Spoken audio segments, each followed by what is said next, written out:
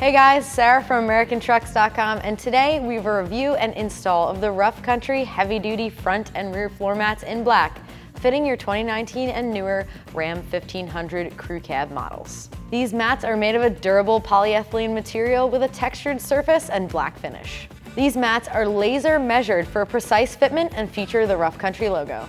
These floor mats were also designed with a spill saver lip to protect against dirt and spills. Coming in at around $160, these are a budget-friendly way to protect your investment.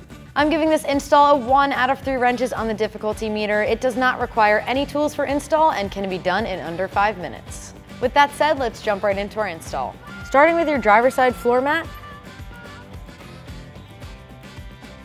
sliding the mat underneath both the pedals and pop it into place with both clips at the back of the mat. Grabbing your passenger side mat, slide it in the exact same way and pop it down with the two clips at the rear.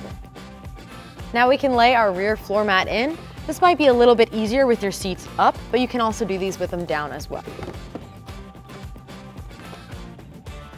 As you fold your mat down, make sure the clip seats nicely in here.